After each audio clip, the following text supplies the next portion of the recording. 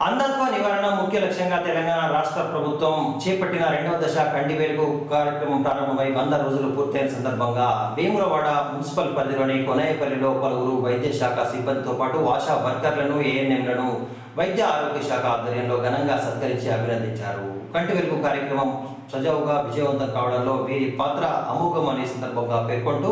రాష్ట్ర ప్రభుత్వం నిర్వహించిన ఈ కార్యక్రమం వంద వంద శాతం విజయవంతమైందని మున్సిపల్ చైర్పర్సన్ రామదిత్తపు మాధవీరాజు జిల్లా వైద్యాధికారి డాక్టర్ సుమన్ మోహన్ రావు పేర్కొన్నారు. తెలంగాణ రాష్ట్ర ప్రభుత్వం చేపట్టిన రెండవ విడత కంటి వెలుగు కార్యక్రమం ప్రారంభమై వందో రోజు ముగింపు సందర్భంగా భీమరవాడ మున్సిపల్ పరిధిలోని పదమూడవ వార్డు కోనాయపల్లిలో వైద్య సిబ్బందితో పాటు ఆశా వర్కర్లను జిల్లా వైద్యాధికారి సుమన్ మోహన్ రావు మున్సిపల్ చైర్పర్సన్ రామతిద్దపు మాధవి రాజు ఆధ్వర్యంలో ఘనంగా సత్కరించి అభినందించారు. ఈ సందర్భంగా వారు మాట్లాడుతూ కంటి వెలుగు కార్యక్రమాన్ని ప్రజల్లోకి విస్తృతంగా తీసుకువెళ్ళి అంధత్వ నివారణ ముఖ్య లక్ష్యంగా అనేక మందికి పరీక్షలు నిర్వహించడంలో ముఖ్య పాత్ర వహించిన వైద్యులతో పాటు ఆశా వర్కర్లు ఏఎన్ఎంల పాత్ర అమోఘం అని పేర్కొంటూ రానున్న రోజులు కూడా ఇదే విధంగా కృషి చేసి ప్రజలకు వైద్య సేవలను అందించాలని కోరుతూ ఘనంగా సత్కరించారు.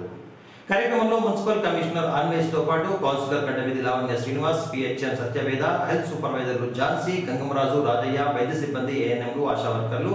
వార్డు ఆఫీసర్లు సిబ్బంది ఆర్పీలు ఉన్నారు.